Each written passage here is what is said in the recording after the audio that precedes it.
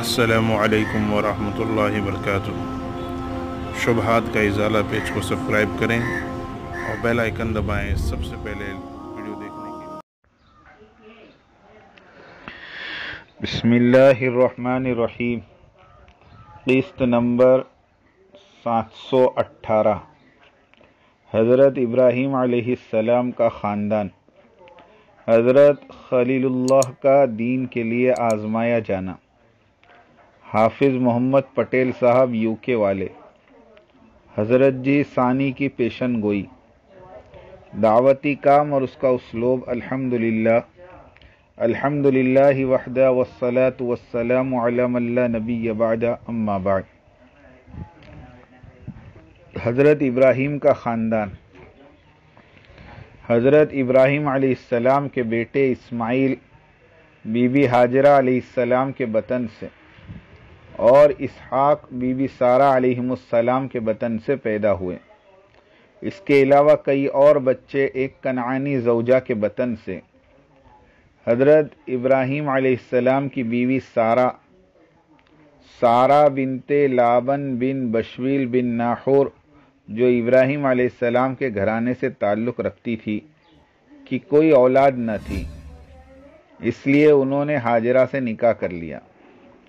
सारा सलाम के मुतालिक मशहूर है कि वो खूबसूरत तो थी, लेकिन बांझ औरत थी जब आप मिस्र पहुँचे तो फ़िरौन मिस्र ने उनकी खूबसूरती के पेश नज़र उन्हें अपने महल में रखना चाहा। इस मौके पे तौरात में आपको काजिब कहा गया कि आपने अपनी सत्रह साल बीवी सारा को बहन कहकर मिस्रियों के दस्तबर्द से महफूज रखना चाहा। बाइबल में आया है कि सो जब अब्राहम मिस्र पहुँचा, मिस्रियों ने उसकी औरत को देखा कि वो निहायत खूबसूरत है, और फ़िरौन के अमीरों ने भी उसे देखा और फ़िरौन के हुजूर उसकी तारीफ़ की और उस औरत को फ़िरौन के घर ले गए। उसने उसके सबब अब्राहम पर एहसान किया कि उसको भेड़, बकरी या गायें, बैल, गधे और ग़ुलाम, लौंडी और गधियाँ और ऊँट ले। फिर खुदावन ने फ़िरौन और उसके ख़ानदान को अब्राहम की बीवी सारा के सबब बड़ी पकड़ की। तब फ़िरौन ने अब्राहम को बुलाकर इससे कहा कि तूने मुझसे क्या कहा? क्यों ना बताया कि ये मेरी बीवी है? तूने क्यों कहा ये मेरी बहन है? यहाँ तक कि मैंने उसे अपनी जोरी बना, जोरू बनाने को लिया। देखिए तेरी बीवी हाजिर है, साफ़ सुथरी है, इसे ले और चला जा। और फ़िरौन ने इसके हक में लोगों को हुक्म दिया, तब उन्होंने उससे और उसकी बीवी को और जो कुछ उसका था रवाना किया। यूसुफ जफ़र अपनी किताब यहूदी में इबन खलदून और तौरात के दीगर मुफसरीन के हवाले से लिखते हैं कि उस वक्त के फ़िरौन ने अपनी बेटी हाजरा भी आपकी जोजियत में दे दी। चूँकि दूसरी बीवी रस्म और रिवाज के मुताबिक पहली बीवी की लौंडी बनकर रहती है इसलिए यहूदियों और ईसाइयों ने हज़रत हाजरा सलाम को लौंडी कहकर बताया है कि हज़रत इस्माइल सलाम लौंडी की औलाद होने की वजह से हज़रत इसहाक से कमतर हैं। आला के बीबी हाजरा बादशाह फ़िरौन की बेटी थी, बांदी कैसे हुई? इब्राहिम सलाम को औलाद की तमन्ना थी, कनान के इलाके में मुकीम होने के बाद आपने औलाद के लिए दुआ की। कुरान में वारिद हुआ, रब्बी हबली मिनसालिहीन ए मेरे परवरदिगार, मुझे एक नेक बेटा अता कर। हज़रत इब्राहीम आसमाम ने, हज़रत हाजरा आसमाम से निकाह किया तो अल्लाह ताला ने इब्राहीम को एक हलीम बच्चे, यानी इस्माइल की बशारत दी। उनके बतन से हज़रत इस्माइल अलैहिस्सलाम सा फ़र्जंद अता किया। और हज़रत इब्राहिम अलैहिस्सलाम अल्लाह के हुक्म के मुताबिक हाजरा और इस्माइल अलैहिस्सलाम को घर से दूर अरब के तपते रेगजारों में छोड़ दिया, जहाँ अल्लाह की कुदरत से चश्मा जमजम पैदा हुआ और आबादी बढ़ी।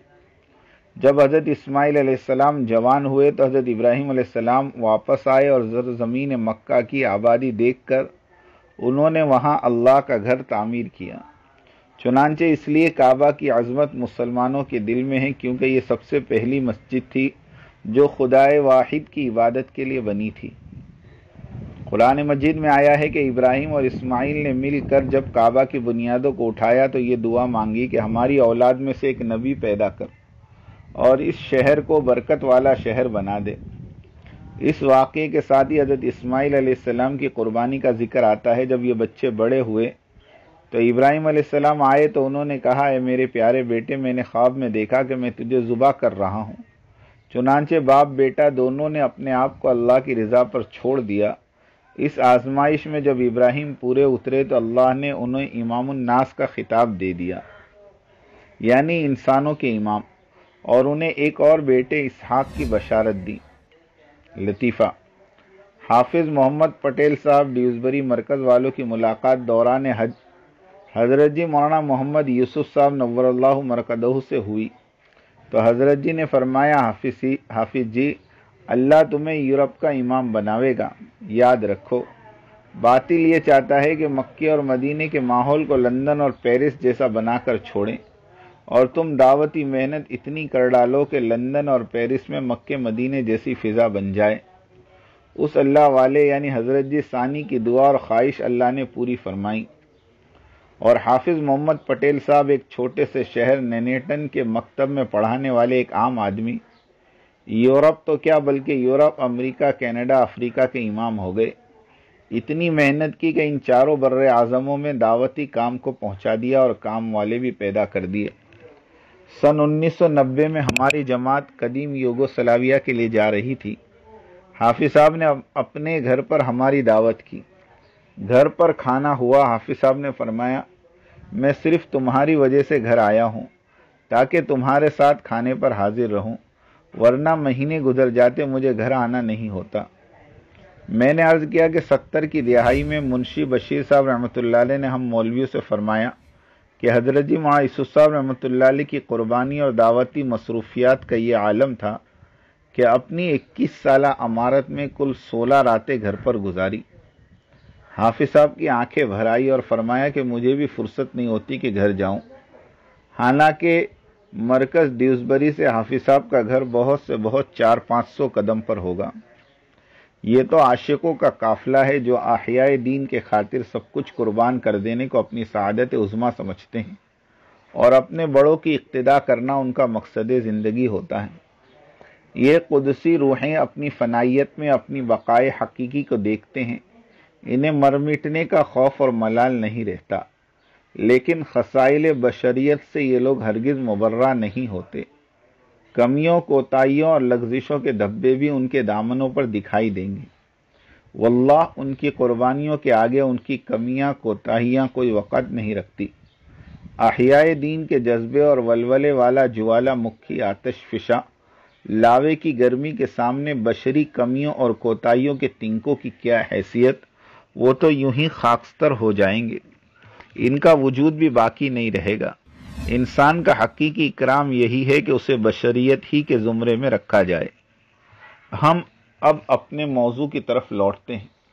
कुरान मजीद में आया है, जब इब्राहिम अलैहिस्सलाम और इस्माइल अलैहिस्सलाम ने मिलकर काबे की बुनियादों को अजसर नौ तामीर करना शुरू किया तो दुआ की एरब तो इस जगह को अमन वाला शहर बना। और यहाँ के बाशिंदों को जो अल्लाह पर और क़यामत के दिन पर ईमान रखते हों फल की रोजियाँ दे।